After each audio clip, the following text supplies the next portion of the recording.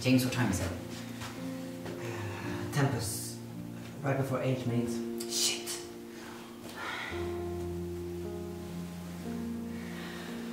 Moon rises at 8. Hmm. We can't be there. Because we're stuck in tension. Well, absurd, Pete. Now how about you shut the hell up? Well, I'm worried too. Yeah, but it's not helping when you're going on and on and on about about messed up. How could we let this happen?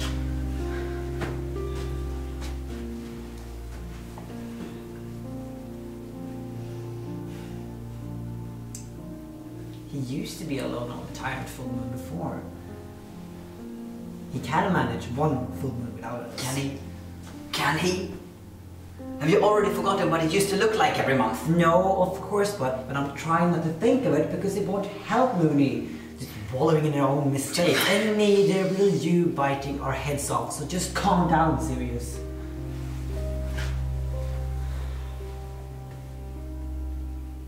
Feels so stupid. Well, that's gonna be a new experience for you, huh? Padfoot, lay off Wormtail. It's not his fault. No? Who was the one who stuck their head from under the cloak to look around the corner? Like an idiot?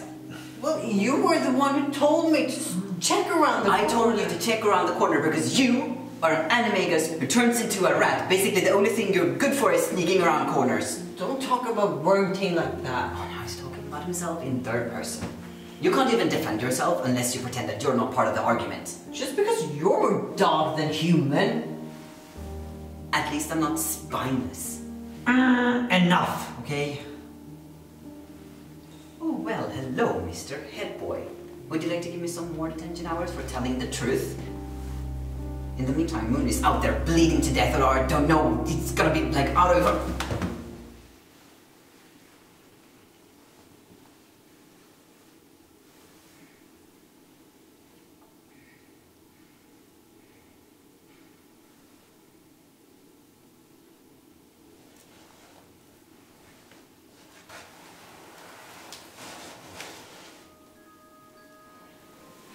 We're worried too. Of course we are. And this really sucks. Not just because we can be there, but because we can be there, we have a duty to be there. Yeah, James is right. Remus has dealt with this like forever. And I mean, he's the most competent of us all. He'll be okay. Prongs, you have the cloak with you, right? Yeah, yeah, of course. I always bring a cloak. Then we'll just head out to the Whomping Willow right after detention. Yeah, of course. That's a given.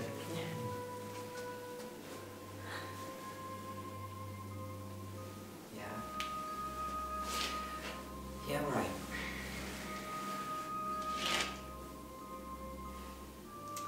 Where is Filch anyway?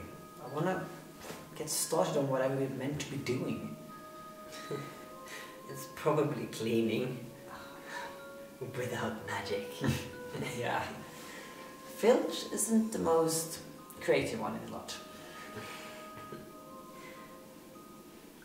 How are you doing with the wandless, wordless magic, by the way?